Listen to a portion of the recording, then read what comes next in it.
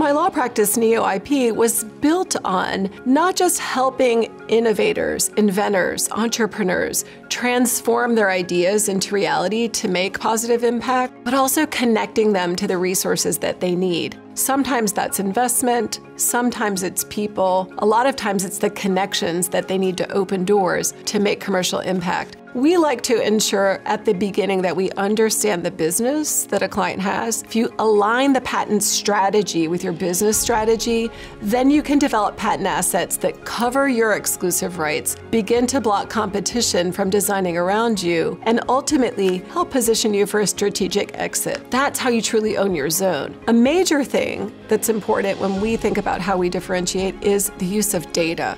Almost everything has a data context, and the patent repository is rich with patent data, not just about who's been investing in patents today, but how that's evolved over time. So we use that data to help with the differentiation at the time we draft and prepare an application. We kind of give you an architectural plan before you get started, and then we build it and implement it, so you know what's happening every step of the way. Our philosophy at Neo IP is to help you with all of that, not just with the intellectual property creation.